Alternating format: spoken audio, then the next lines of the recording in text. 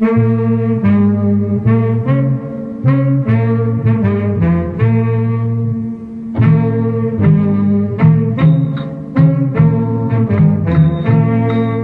អ្នកនាងមិត្តអ្នកគ្រប់គ្រងទំព័រ Facebook ទេសចរសិល្បៈភាពយន្តខ្មែរនិងក្រុមព្រះសូរិយាជាទីគោរពនិងជាទីរាប់អាន ក្នុងថ្ងៃនេះក្រុមព្រះសូរិយា មានកិត្តិយសដោយទទួលបាន នៅកាដូយ៉ាងពិសេស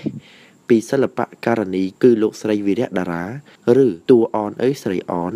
ដែលផ្ញើមកកាន់ក្រុមព្រះសូរិយា នៅចម្រៀងមួយបទដែលលោកស្រីទើបតែច្រៀងតាមរំលំខារ៉ាអូខេនៃបទស្អែក1000ដង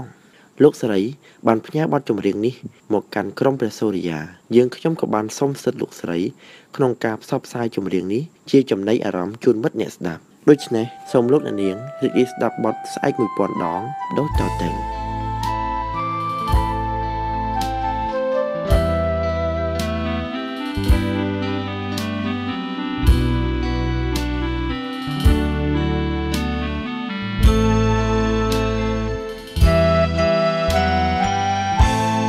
ចិត្តមិនដេចបានធ្លាប់រួ